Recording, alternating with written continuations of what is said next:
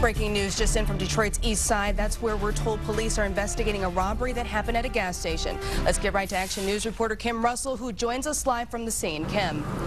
Tara, I'm live at the BP at Montclair and Jefferson, and this business has been a victim of a very serious crime. I'm joined now by the owner of this business, Abdul Beydoun. Tell me what happened this morning. I got a call around 6 o'clock this morning, quarter to 6, from my manager saying uh, that three vehicles, F-150, as you see in the back, in the back, in the back of me, uh, they came in around 6 o'clock uh, and they robbed him and they took the ATM machine and they took off and left two vehicles on the scene. And right now we have them on the video. We have uh, clear pictures of them and they came in with machine guns, robbed him at uh, gunpoint and just took off. What a frightening experience. These men obviously very dangerous. What do you want to say to anyone who knows who they are?